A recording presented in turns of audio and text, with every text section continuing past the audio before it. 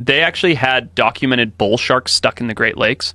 Yes, I'd heard about that. Pretty amazing. Yeah, that is nuts. Sharks swimming a thousand miles from you know Louisiana up rivers and getting stuck in the Great Lakes. Well, they're one of the rare sharks that can breathe fresh water, right? Mm, catadromous. Yeah, so That's they go. what it is? Yeah, in and out of in and out of fresh water. You know, they go through osmoregulation. They can get the salt out or in whatever they need, and then go into the rivers, spend time in the rivers, go back into the ocean to hunt. The inspiration for the movie Jaws was apparently bull sharks in New Jersey, a series of attacks in fresh water on Right. a river system. Right, but near an ocean, I believe. Right, like at a river mouth. Yeah. Yeah. yeah, that was my understanding as Yeah, well. these people were going into the river, and these bull sharks were killing them, right. like in a river. Yeah.